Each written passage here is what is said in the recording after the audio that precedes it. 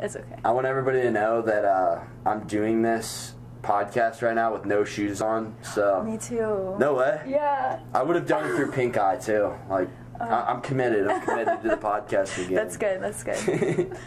I don't really have a style. I'm a songwriter. I'm not a rapper. I'm a songwriter. I'm a singer, a poet, a writer. Are you a ghostwriter for Drake? Maybe one day. Hey. So, I, again, I, I, don't want to butcher this. You, were you you were born? You had a premature birth, Yes. and you didn't give birth. You were born. Clarify, clarify for everybody out there. But you were born the size of a baby bird, if if I'm not mistaken. Yeah, so I was born 24 weeks premature. 24. Um, 24 weeks. Oh, I was born in March. I was supposed to be born sometime in July, and my mom could not even hold me until I think on Mother's Day. So, I mean, if you think about that, I mean, the first thing that a mom, you know, just wants, you know, to do is to hold a baby, you know, and she, you know, could not do that. So I give her, you know, so many props, you know, to wait that long, you know. Oh man. Oh, absolutely true. Oh, it's a metaphor. Only the finest understand it. So is that why I don't get it? Yeah. Because I'm not fine, Yeah. or, or am I fine? But I'm just not the finest. You're just not the finest. Okay, okay. So Yeah. how do I become the finest? You're just not the sharpest pencil in the package. Well, can I get a sharpener, or they're like thirty-five cents at Goodwill? You just get um, just get a little butter knife and you just sharpen it up. Really? Yeah. Just can you show me that again? Yeah. You just Is it is it just the flick of the wrist? yeah, just a little flick of the wrist there. You just flick of the sharpen that pencil. Look at the flick of the wrist. Look at the flick of the wrist.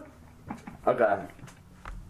Did you did you hear what Elon Musk said about like artificial intelligence? What did he He say? said, he It's, said like, that is the most dangerous thing in the world right now is AI because there's no like government what is it There's like no regulation regulation about it, yeah. and so like he says it's like it's getting super advanced and it needs to be regulated because it's getting like to the point where it's getting scary. It's scary too Yeah. because like it's an arms race. Like Yeah. we're probably competing with like I don't know what other countries are competing. China. I think it's more yeah, private. China, Russia. Like It's- yeah, I think like it's- yeah. human AI, like Yeah. consciousness. I think it's more private companies, but like military versions more. Oh, I, I would shit. assume, I guess. I don't know, would yeah. assume that would make sense. But I just think I it's don't crazy. This is like. Have you guys ever seen Black Mirror by chance? No. Have you seen? I've been thinking about watching it, Yeah, though. I've been It makes you start think. It's like it basically like a overview. Every episode's different. It's like a dystopian interpretation of the future. Okay. It's uh, it's really it, it pretty much that same exact Yeah. topic. Like it just makes you think about how much shit can go wrong if we don't take the necessary precautions on like carrying into the The future. first of um, Parents about a friend I'd made, they'd you know ask, well, you know, are they white? Are they black? Are they Hispanic? Like it mattered, but at the same time it didn't. They'd always say, oh, well, that's okay, but you know, be careful and all this. So I picked up on it, but I never really agreed with it because in school I could see like these people are the same as me. Like they're not doing anything. Like you guys up here, you're you have these conflicts with them, but I'm in school and like I'm cool with them. They're fun. So That's really cool that you're able to view that from like the innocent side. yeah. Well, I just never understood it. I feel like that is one thing about me is I've always had like an open heart towards things. And I think that was kind of that's why I think the chiropractor had such a big impact on it was because whenever these people would come into his office, he didn't have that same mindset like my parents did. Like if they would come in and they didn't speak English at all, he treated them the same. If they came in and they're all dirty and they looked like they hadn't had a shower in weeks, he treated them the same. If they came in they had a whole bunch of money and they were like uptight in their business suits, he would treat them the same. And so I think that that really gave me like an environment where I could be more like what I always believed in, like kind of act on that rather than like not that my parents wouldn't let me do that, but I just felt like I was wrong if I would. You know what I mean? Totally, totally. So yeah. He, he led a really good example, Mm-hmm. and that's what you you agreed with his example more than the example your parents set for he gave you. me the path that I could like act on it. Whereas like my parents definitely like they're not racist by any means, don't get me wrong, but you know they have those mindsets that they were grown up like raised with. So Yeah, they're just conditioned. That's yeah, just they're a not product of their nothing bad about it. They don't look down on them. It's You look at you look at like a dry, very um, kind of awkward sense of humor. I like it. you calling me dry and awkward. Dry and awkward. Dry. I, I was referring to your skin. You have dry skin, and and and, and uh, an awkward vibe. And vibes speak louder than words. And your- What's awkward your- about me? Your clout. My, your your clout is extremely. I don't. It, it doesn't sound like. It sounds like some like like old man's like neck fat. That's what I thought clout was, or like something to do like, with you know, saggy you know balls. gout Do it gout. when you have gout in your That's foot. what I. What, maybe, that, maybe that's what I'm getting mixed up. with. Yeah, why'd you think saggy balls? I don't know. I don't know. This is where my mind takes me. I what I, it's crazy to me, dude. You that thing is it's steep. It's basically like straight up and down, and you are flying down that that uh, wave. Like I feel like I'd be going too fast and start freaking out. and have to like Yeah, try to slow myself down and And just like the, just thinking about like the weight of that wave if it crashes oh, yeah. on top of you. I Break mean, your back, dude. You're a wave that big is probably be you know Well, and, like, tons of water. Just it'll like hold you underwater for like ten seconds plus. Like, Oh, and that's a long lot of time to Yeah. be underwater. Exactly, and you're like getting tossed around, so you don't know which way's up. Oh, that'd be the worst. You start swimming in the Yeah. wrong direction, and then you gotta backtrack by the time you Yeah, realize. exactly. Or if you like, you if, if it caught you on like a bad breath, like you were breathing out. You know what I mean? Like you, you, all the oxygen just left you, and then you gotta struggle to get back. See, Yeah. that would suck. Yeah. I think it was It's called slow motion.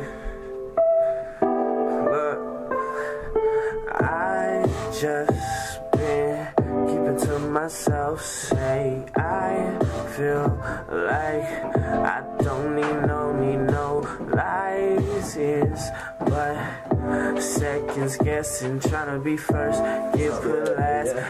Be a lover, don't make you crash. Lose Hey, you're in front of the light, camera. hills Hey, sit burning 'cause. I can't Sit take down. flight. Wheels get swervy, but I don't know. Yeah, I'll be alright. Chasing my vision, I'm framing each second, just trying to be present. As gifted as I am, I know we can get it as soon as we land. But as soon as we land, everything seems to be in slow motion.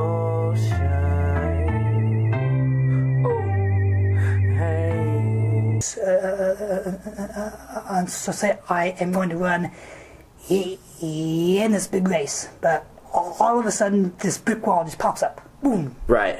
So do I keep bashing myself against it?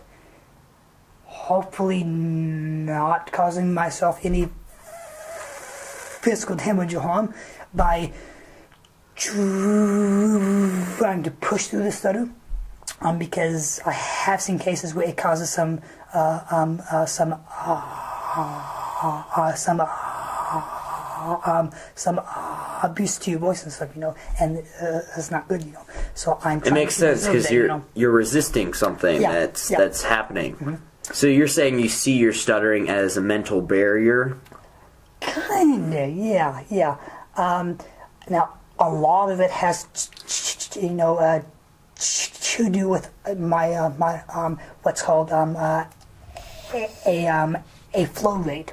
You know, how fast I talk, you know, and how accurate the speech is. You know, blah blah blah. blah, you blah, blah, blah, blah, blah. You said a flow rate. Yeah. Okay. yeah. And so, but if I'm, but if I'm more smooth and relaxed and don't have a, a lot tension in my throat, and if I take take my time, then a lot of uh, then a lot of what we call the um, um, um, a disfluency um, um, is um, a lot uh, is a lot less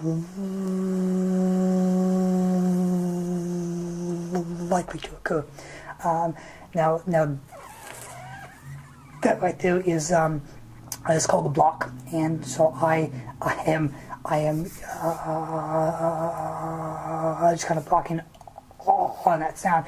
But there's you know a lot of ways that I can overcome that and be more, and a, a ton of it has to do with what's up in here, and that's your mindset, you know. So I, I like to psychoanalyze my life and like like my experiences in retrospect, and mm-hmm. I, I was just thinking about. It, I'm like everything was so perfect, like because I'm the same way. I like I, I love who I am right now. I'm so mm-hmm. grateful for who I am right now. Yeah. and all these things that led me to who I am, like yeah, some of the things might have sucked. Like for example, like depression. Like I, I went through depression at a point in my life. I went through uh, whatever, whatever X, Y, and Z. Mm-hmm. But they've led me to be a certain way, and I love that about me. Mm-hmm. Exactly. You You know what I learn mean? from it. You don't let it take you down or let like don't focus on the negative part of it. Just focus on what you can get out of it and how it can help you turn into something better. Like, Absolutely. You see how like with depression, you see how bad you can feel on a daily basis. And so then you feel like, okay, I'm not going to accept that anymore. I'm going to do something to where I'm not upset on a daily basis. But other people could just fall into it and then they're just, you know, oh, I'm depressed and now I'm just I have this sucky life and everything sucks and nothing's going to turn out right for me. But like you just got to change your mindset and grow from it and you'll be thankful for it. And it's cool to have those parallel opposites and like it, what an attitude can have an effect on your life. yeah. Your just your outlook on life. Yeah. You can have the exact same circumstances with different outlooks on Mm-hmm. it all, and you can be not content or you can be content with your life. Yeah, I have a whole blog post on that. It's called Thoughts or Things because I had two friends, and this was kind of towards the end of the summer where I started realizing, like, oh, like I'm not really doing this for me anymore.